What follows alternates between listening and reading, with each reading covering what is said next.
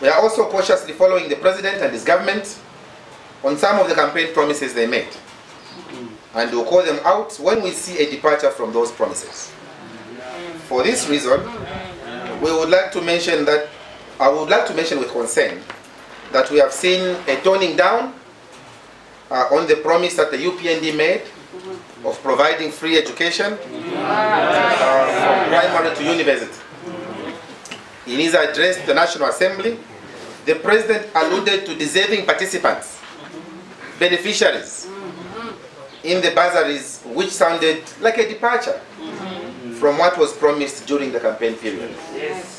We are yet to see how the President will balance, uh, will balance that and come to the fore and guide the nation. As we have said, as Democratic Party, we'll be patient. They say a voucher is a patient bird. We'll be patient, and so don't worry when you don't see us every day yapping and talking at all. We will, we will allow the UPND government to settle. Let them settle, and uh, once they settle, we are going to to see whether what they told us is at variance with what they are doing.